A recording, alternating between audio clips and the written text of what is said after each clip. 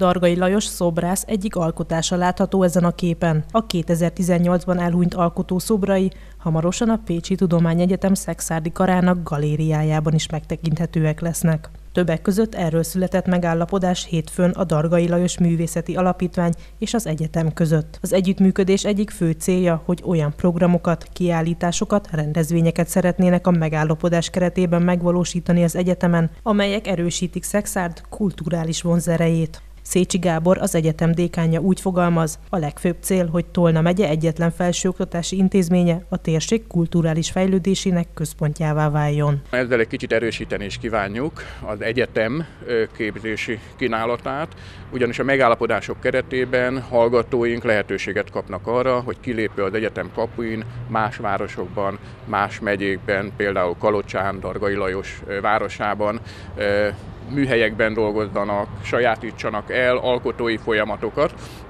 legyenek jelen egy kicsit a régió kultúrájában. Az eseményen Dargai Eszter, a belügyminisztérium helyettes államtitkára és a Dargai Lajos Művészeti Alapítvány alapító tagja is jelen volt. Ő azt mondta, örül annak, hogy az apja hagyatékát feldolgozó munka folyamatban kiemelt szerep jut Szexárdnak. Sikerült az alapítvány kuratóriumába édesapám művészetét ismerő és tisztelő olyan embereket felkérni és megnyerni, köztük itt az itt jelenlévő elnök urat is, Kriston József elnök urat, akik tényleg agilis lelkesen, lelkiismeretesen, és, és én úgy gondolom, hogy édesapám szendékaival teljesen azonos irányba viszik az alapítvány tevékenységét. Dargai Eszter örökösként kötelességének érzi, hogy édesapja hagyatékát és művészi alkotásait a lehető legjobban gondozza.